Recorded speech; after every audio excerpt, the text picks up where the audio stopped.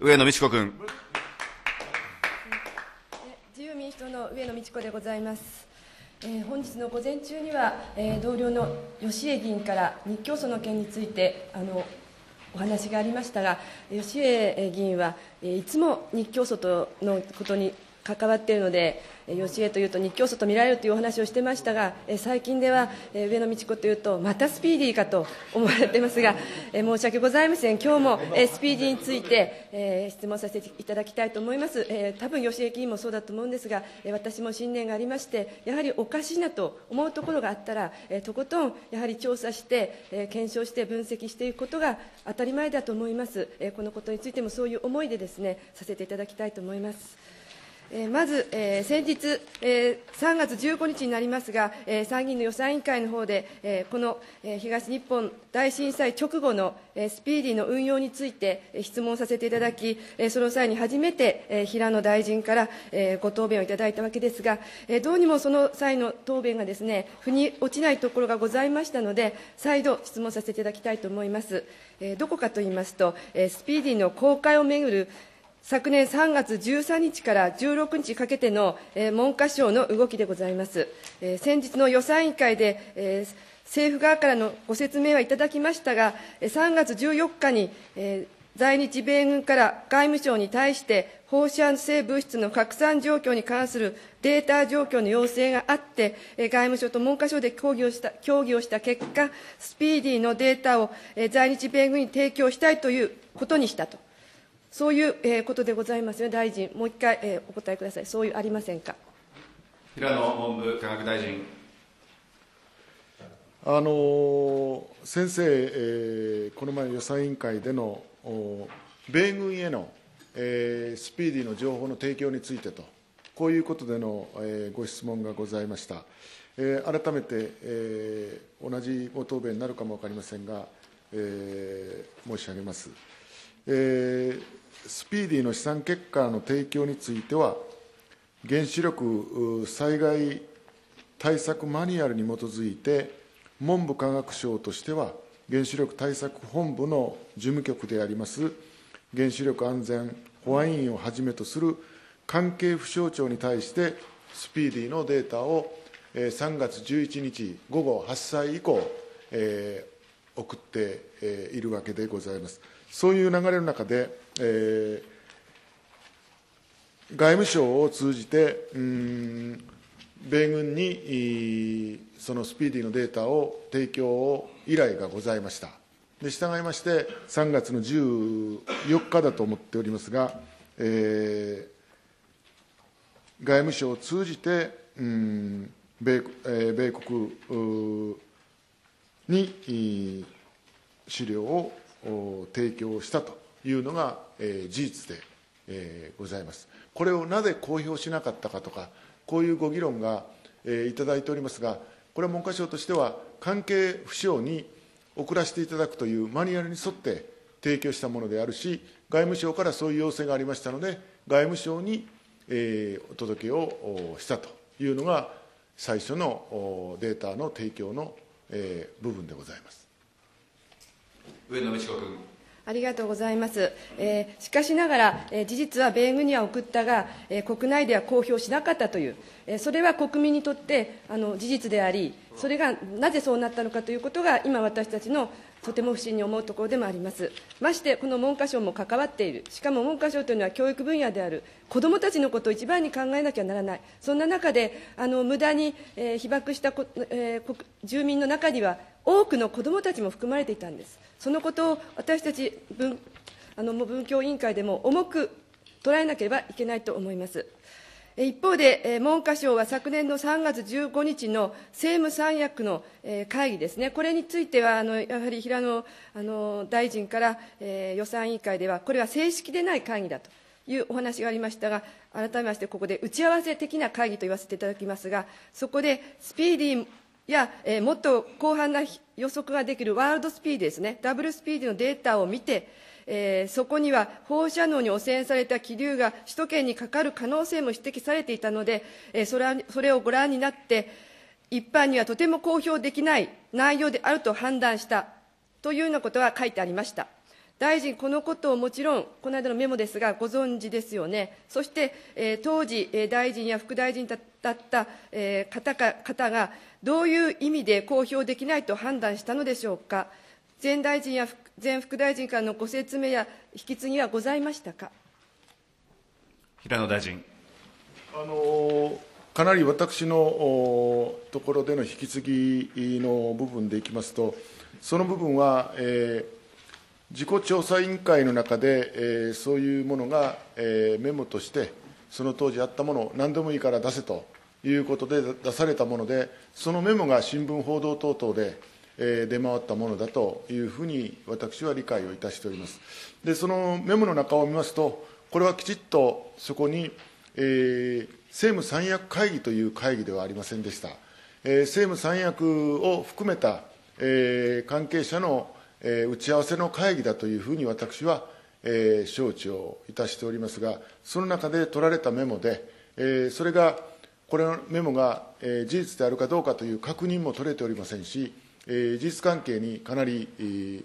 誤認が、えー、あると、こういうふうに私は、えー、承知をいたしておるところであります。上野美智子君。はい。えー、実は今日の資料として用意しました、えー、皆さんのお手元の2ページ目をご覧ください、えー、資料のメモでございます、えー、このメモを作成したのは、えー、文科省で放射能問題に対応した EOC 放射線班ですね。その班長です。そしてですね先ほど質問の内容のな、えー、のことも中ほどに書かれておりますが、えー、スピーディーやワードスピーディーの予測結,、えー、結果が関東及び東北地方に放射性雲が流れるという結果を見てですね、えー、そこの政務や、えー、三役はおそらく拡散状態が広がっているということを、えー、感じ、とても公表できるものではない、えー、別途標準的なものを用意することとなったと判断したのでだと思われ思われます。私としてはこのメモは非常に重要なものだと思っています。その理由は、この3月15日のその打ち合わせ会議こそ、えー、文科省がスピーディーの、えー、情報隠蔽を決めた、えー、打ち合わせ会議であり、それを裏付ける確かな証拠だと思うからです。えー、ところが、平野大臣は、えー、先日の予算委員会で、今もそうおっしゃいましたが、えー、正確性に欠けるメモだという見解をおっしゃいました。え私も正確であるかも含めてですね、実はメモについて事前に文科省からご説明を受けました。会議のメンバーは、当時の高木大臣をはじめ、政務三役、3月15日は正式な政務会、えー、三役会議ではなく、打ち合わせ的なものであった。でも、政務三役はこの日、確かに話し合いをしている。つまり、正式会議ではないが、えー、問題なく、えー、打ち合わせをして、大切なことは、その会議で文科省の政務三役がスピーディーの情報を公開しないことを決め、原子力安全委員会に責任転嫁をすることで口裏を合わせてやっていたということだと私は思いますが、この流れ、そういうふうな大筋の流れで間違いないでしょうか？平野大臣。あの上野先生ね、そこは少し決めつけないでいただきたいと思いますが、これは公表をしないということをそこで意思決定をしたとか、そういう会議体では実は、えー、ございません。いろんな意見交換をされたものであると、こういうことでございます。で、もう一つはその、いろんな役所がいろんなデータを取っておりますが、それをむやみやたらにそれぞれ出しますと、えー、混乱だけが起こるじゃないですかと、こういうこともあり、えー、そういう意味では、評価結果については、対策本部の方で、判断されるということですから、そういうことに出すことについては控えましょうと、こういうことだと思います。もう一つは、えー、ワールドスピーディーについて一つあの申し上げておきますが、これはまだ、えー、気候における研究開発の、えー、代物でございます。したがって、これがどういうふうになっていくかどうかということについては、いろいろまだ検証過程があるということですから、多分これ多分です、私そこの現場にいませんでしたから、多分そういうものを出したって、えー、その状態が本当に正しいものかどうかというのは研究開発中ですから、そういうものを使って、研究開発していることは事実でありますが、そういう判断を一部一方ではされたのではないかと、私は推測をいたします。上野美智子君。えー今、大臣はこのメモにのにあたってのあのご答弁いただきましたが、えーそれではこのメモは、正確なものでないと何度かおっしゃってますが、えー正確なものではないというのは、どの辺が正確なものではないのか、えー間違っているのかというのをもう一度お伺いしたいと思います。委員長。あ、平野大臣。すみません。あの何点か、えー私のお聞き取りにおいては、えーございます。あの一つには、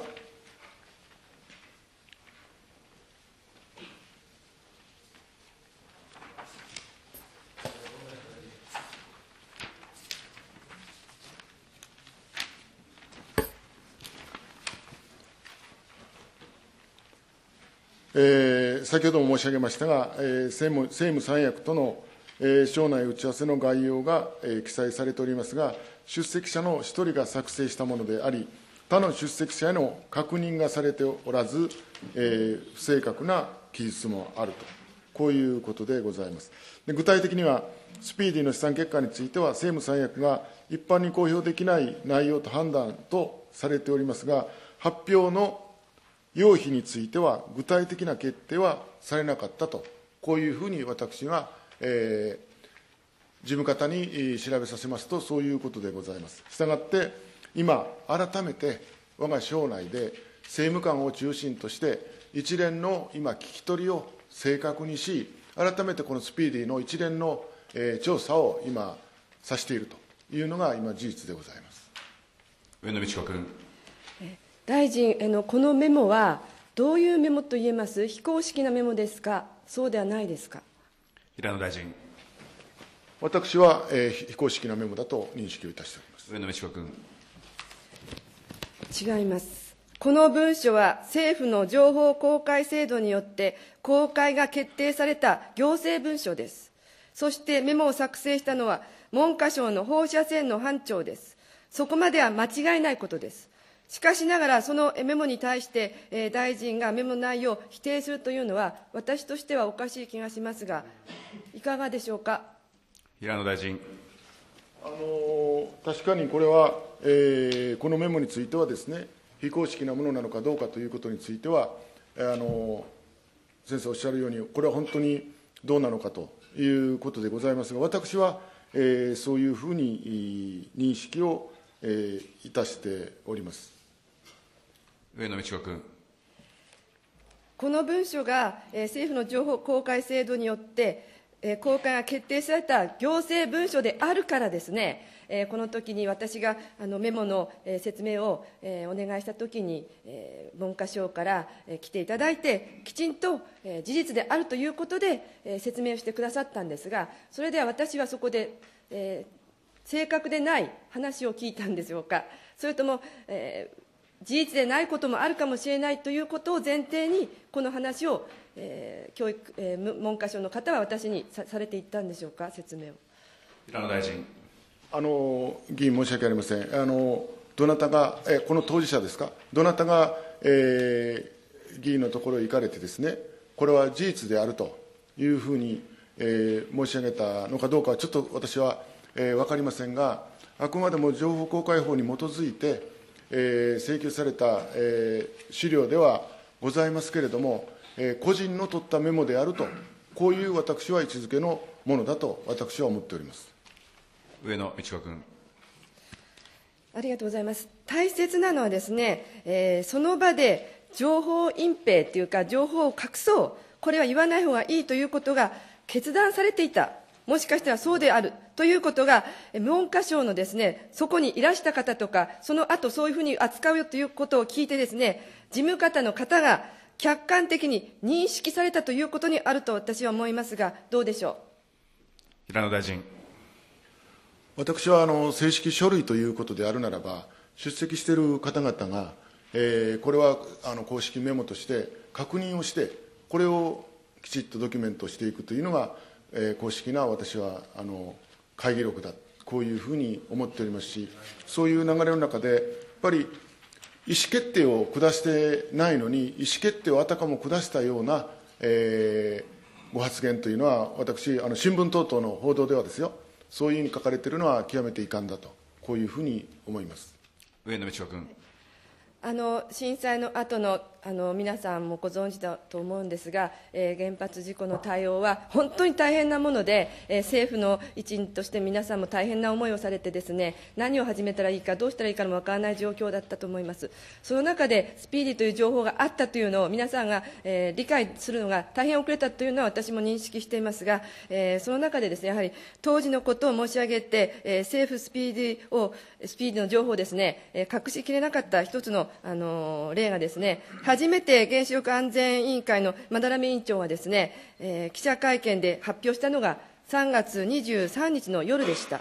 で私は翌日の午前中にこの委員会で、えー、スピーディーについて質問したわけです。で当時の、えー、高木、えー、大臣はですね、その時状況はあまりよく把握しておられなくて、えー、代わりに、えー、鈴木、副大臣がご答弁をさせてさせていただいたという経緯もありますが、えー、答弁の最後にですね、えー、文科省が知り得る限りのことにおいおいては、すべておっしゃったと。これが以上ですと。文科省が知り得る、知り、知る限りにおいては以上ですということをあの最後に鈴木大臣はご答弁されたんですが、その時点というのは3月24日なので、その時点は。ですから、このメモの事実や非公開にしてきた経緯っていうのは、ご存知だったと思うんですよね。でもそれを全く、えー、私のこの質問に対してもう1年経ちますが、おっしゃらなかった。そういう、えー、事実は事実だと私は思います。えー、そして私はこの、えー、鈴木副大臣の答弁があのいつもすごく滑らかに、えー、あのされる方なので、えー、私の答弁に対してはあまりあの滑らかではなかったようなあの 実感があってですねこれはどうしたんだろうという思いがあって何かあるんではないかと思いました。えー、そういう思いもあってですね、さらにこのこのメモですね、このメモについて、えー、文科省の方にですね、えー、補足説明をいただきました。ちょっとその補足説明であのお話あったことを話させていただきます。3月13日に米軍から要請があって、文科省は3月14日からスピーディの情報提供を始めました。翌日15日には、茨城県内で放射能の測定値が急上昇する事態が発生し、それを受けて文科省がモニタリングに奔走し、一部ではスピーディーも活用したそうです。そして当日の成果を夜の記者会見で発表し、その時に、え記者団からスピーディーに関する質問も出ました、出されました。それで文科省の事務方として、スピーディーについて政務三役にも報告しなきゃいけないという思いでですね、報告したのが紛れもなく3月15日の政務三役への報告を兼ねた打ち合わせ会議、この会議だったということです。これが事実であると、文科省から私は説明を受けました。もう一度、平野大臣に同じことをお伺いしますが、多分あのしたいんですが、とあの答弁は同じだと思います、当事者ではないなかったですから、大臣は。で結構ですので、あの何か私に対してどうしてもここは絶対という反論がございましたら、どうぞ。平野大臣。あの反論というよりも、あの今あの、政府でもそうですし、国会の事故調でもそうですし、また文科省のスピーディーに関しての部分というのは、今、検証をしております。でその検証結果は私は真摯に受け止めたいと思いますが、私は今まで就任させてもらい、えー、担当の部局ともこの問題については報道等々されておりますから、その都度、この時の事実はどうだったんだということを聞き取りをし、その聞き取ったものを、えー、委員会なり、マスコミの記者会見で、あの報告をさせていただいております。あの確かにあのスピーディーについてですね、国民になぜ公表しなかったんだと、改めて、えー、そういう強いご要求があるということも知りました。しかし、私どもとしては、防災マニュアルに基づいて、公表については政府政府の意思決定のもとに出していくことが情報として混乱しないと、そのことで文科省としては、あえてそのことを、えー、なぜ文科省が積極的にそのことを公表しなかったんだと、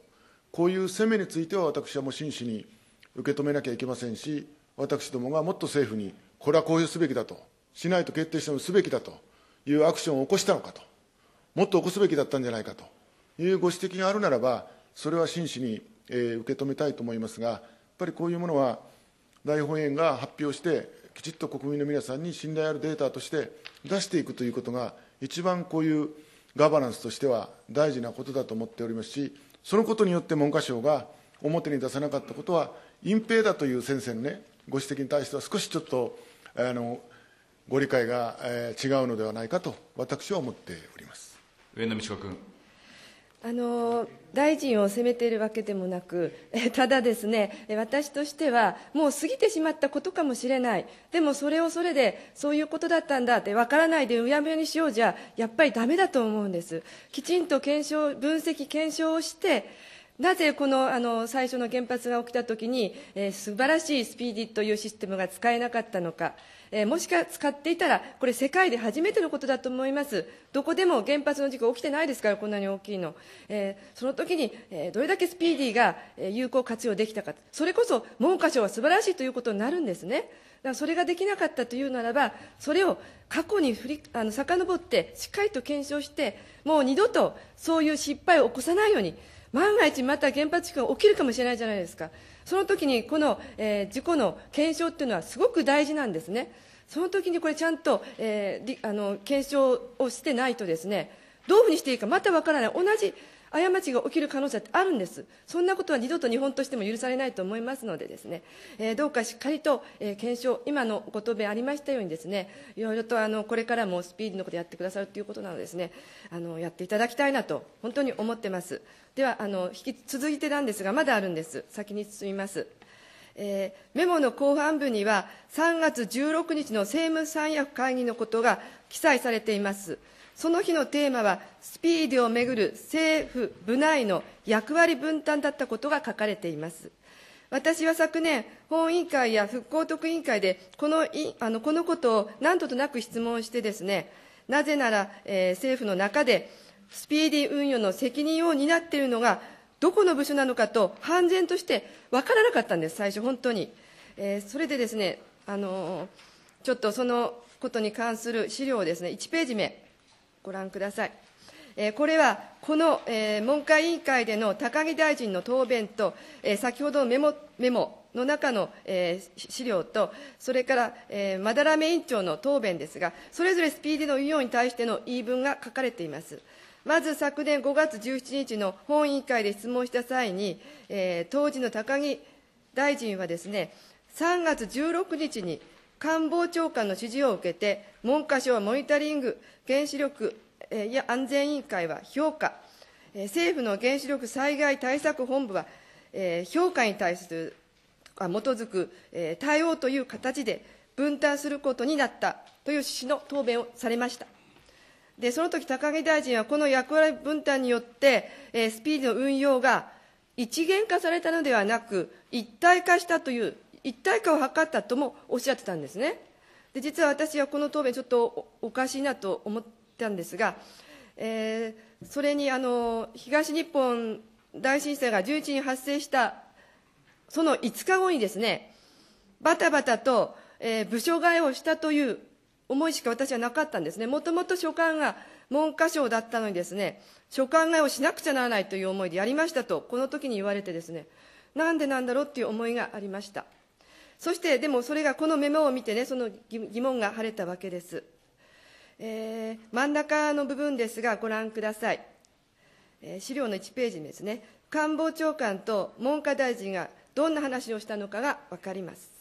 そしてまた3月16日の文科省の三役会議で、鈴木副大臣の提案で当省は影響の評価は影響の評価は行わないことになったのであるから、評価がないスピーディー等の公表は意味がないので、今後、スピーディー及びワールドスピーディーの運用は、原子力安全委員会において運用公表する、今後と言われてますね、ことが合意された、えーこのような経過があったようです。えー本来なら、元大臣、副大臣いらっしゃるので、真相をお聞きしたいところですが、えーこのメモのこの部分によって、原子力安全委員会がスピーディーの運用と公表の責任を持たされたということが理解できると思います。で続いてですが、えーこの少しずつスピーディーの情報公開の謎が解けてきたというところでですね、えーご答弁は結構ですので、先日ですね、3月と1日の衆議院の予算委員会で、我が党の梶山博議員が、この時のスピーディーの所管外について質問しました。これに対して原子力安全委員会のまだらめ委員長が答弁したのが、この1ページの最後のところの資料の部分です。読み上げます。3月16日に官房長官の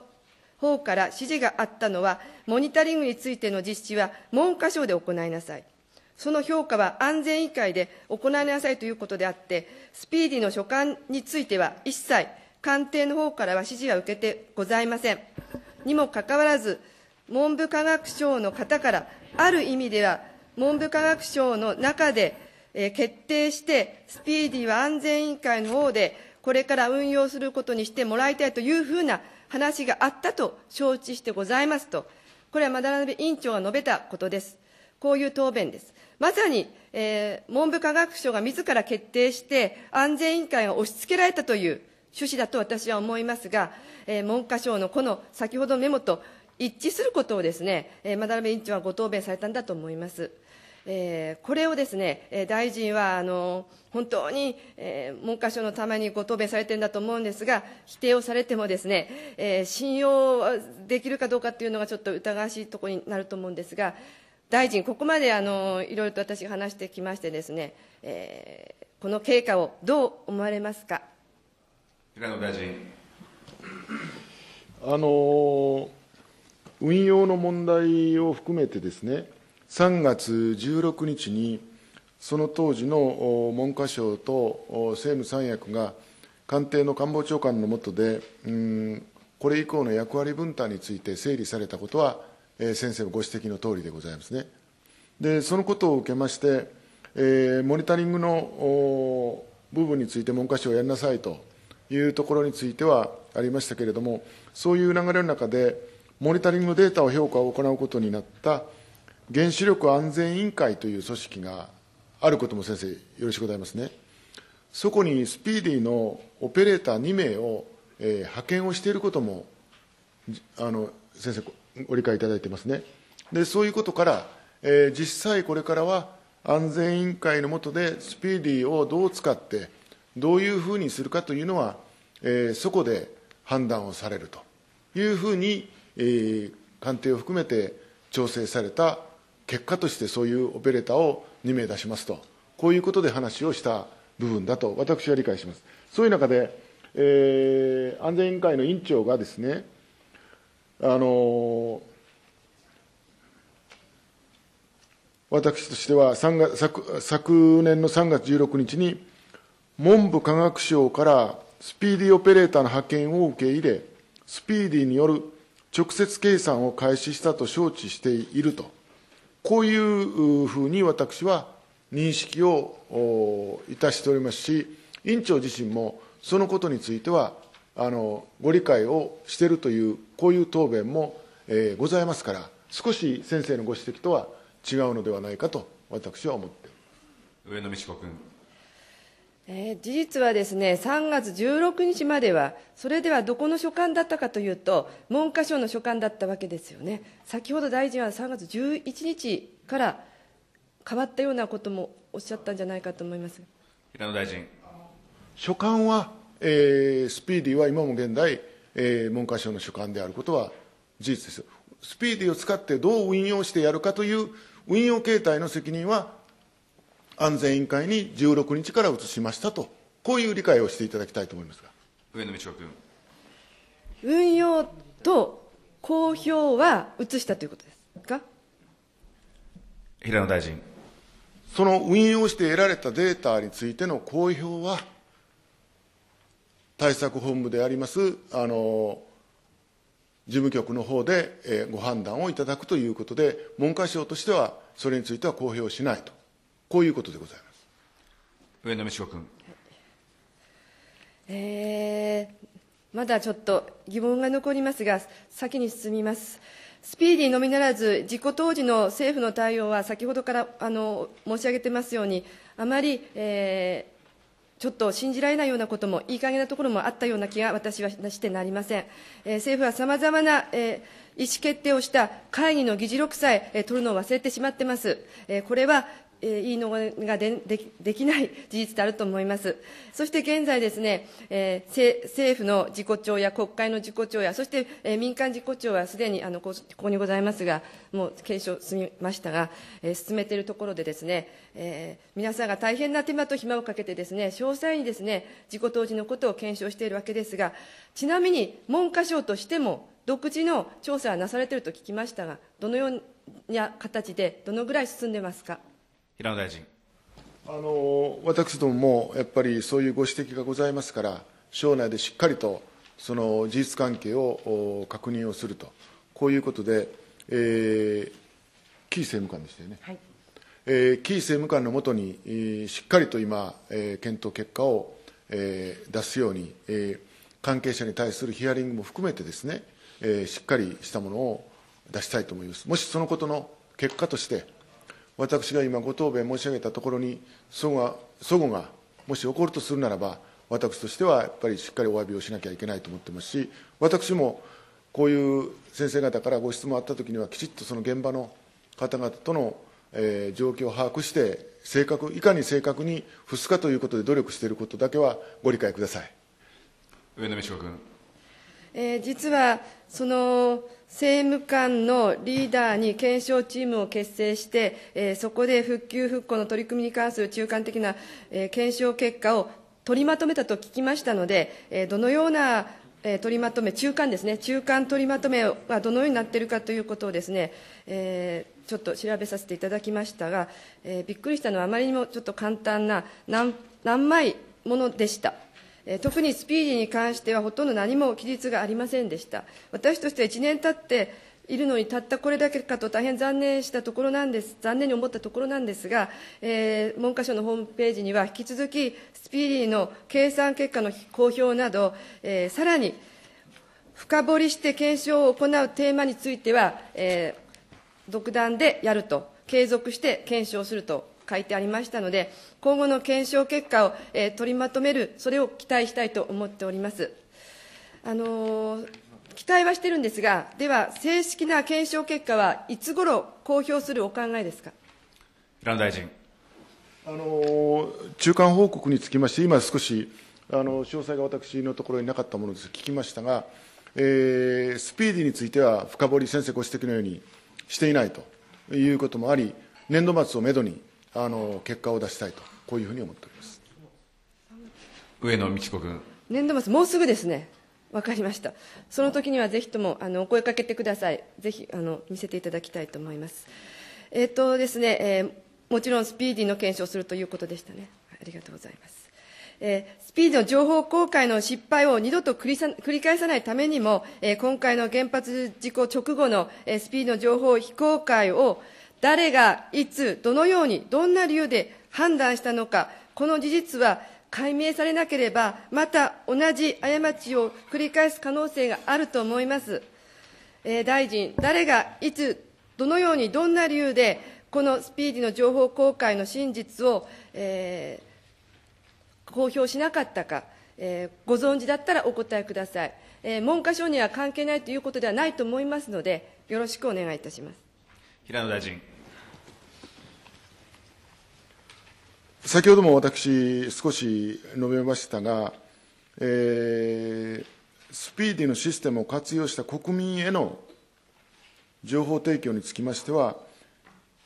現地対策本部が機能不全に陥っていたことから、その役割を減災本部または保安院が果たすべきだったが、減災本部保安院はスピーディー情報を広報して発表するという発想はなかったと、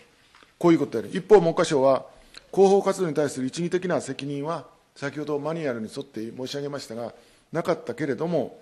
私申し上げましたように、えー、スピーディーを所管する省として、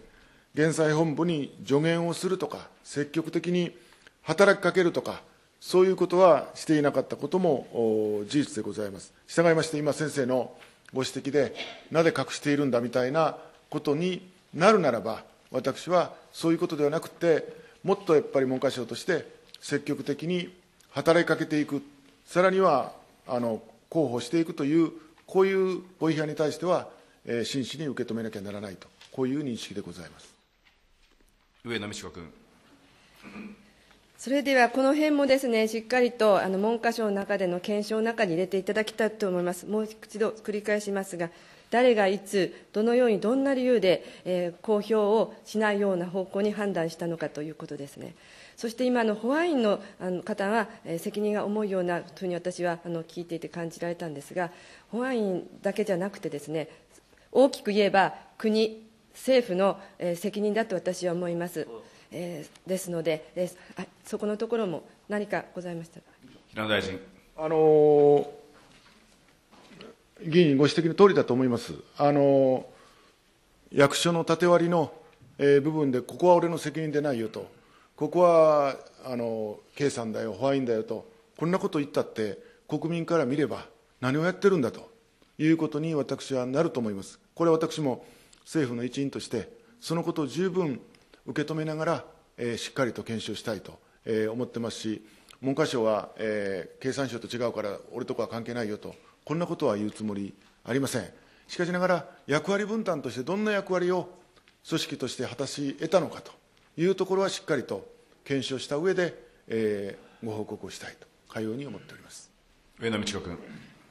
えー、国の責任のもとですね、このような人災を二度と起こさないようによろしくお願いしたいところですが、一つ、えー、お聞きしたいことはですね、えー、今も政府事故調や先ほどおっしゃい、ま、あのお話ししました国会事故調が調査中ですが、できれば、えー、文科省としての調査をですね、スピーディーのですね、えー、3月末までとか言わないでですね、一日も早くしていただいてですね、えそれを、その実態をですね、え政府事故調や、え国会事故調での検証にですね、えー、利用していただくと、反対に。そこで検証していただくという、そういうふうなことを反対に取ればいいと思うんですが、いかがですか？平野大臣。えー、それぞれの自己調査会の役割というのはございますから、あまり文科省からこうですよというよりも、当然、それぞれの自己調査委員会から文科省の関わった人は呼び出されて、えー、しっかりとご報告してますから、それぞれやっぱり客観的にえー、調査されることが好ましいし、その結果の奇数として、今、委員ご指摘のように、二度とこういうことが、えー、起こさないように、起こったときには適切に対応できるような仕組み作りを、えー、より充実させることが、私は寛容かと思っております上野道子君。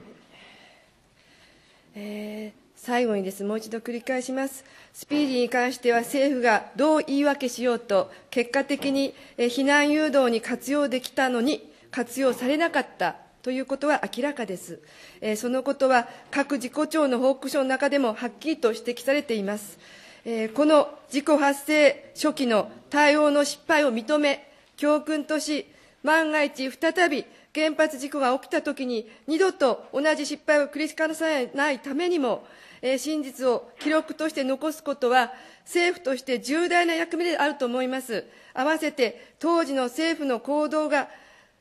人災につながってしまったことは明らかです。このような人災も二度と起こすことがないように、しっかりと文科省として検証していただき、子どもたちの未来を築くということを絶対忘れないでいただきたいと思いますので、よろしくお願いします。以上で質問があります。